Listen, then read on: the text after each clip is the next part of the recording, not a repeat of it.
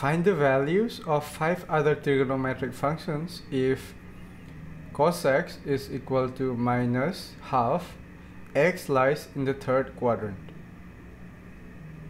Before doing anything, let's get our triangle up. So cosine x equals minus half. Just forget about the sign now. Uh, we'll see in a minute why the sign matters and all that. But just for the purpose of understanding we have a triangle whose adjacent side so there is an angle x and its adjacent side is 1 and the hypotenuse is 2 by the definition of cosine x. So using pythagoras theorem we can find what this third side is right? So let's just do that. Let's call it some a.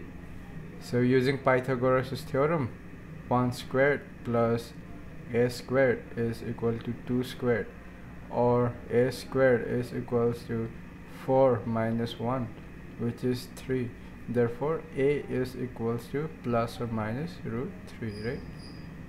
Since this is a triangle um, we'll just consider the positive uh, value.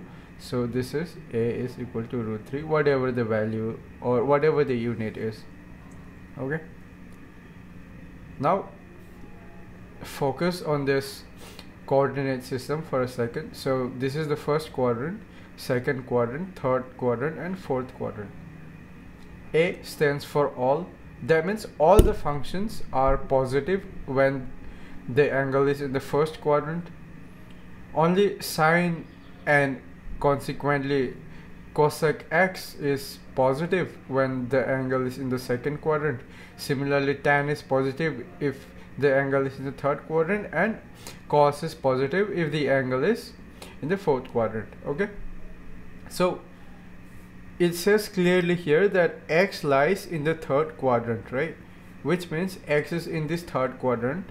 So apart from tan x and cot x because cot x is just a reciprocal of tan x. Apart from these two functions the values of other functions would be negative in third quadrant okay? So let's just continue writing down the values. Since we know all the values so sine x uh, just the magnitude of sine x would be root 3 by 2 and like I discussed since the angle is in the third quadrant therefore the value of the function sine x would be negative. So this is negative. And cosec x is just a reciprocal of this. So it would be negative 2 by root 3 now let's come to tan x. So tan x is opposite side by adjacent side right? So it would be root 3 and then cot x cot x would be what? Reciprocal of this which is 1 by root 3 let's check the signs. So since the angle is in the third quadrant tan x is positive. Consequently cot x would also be positive. Now finally we have sec x. So this is just a reciprocal of cos x right? So we can just write minus 2 okay? And there we have our answers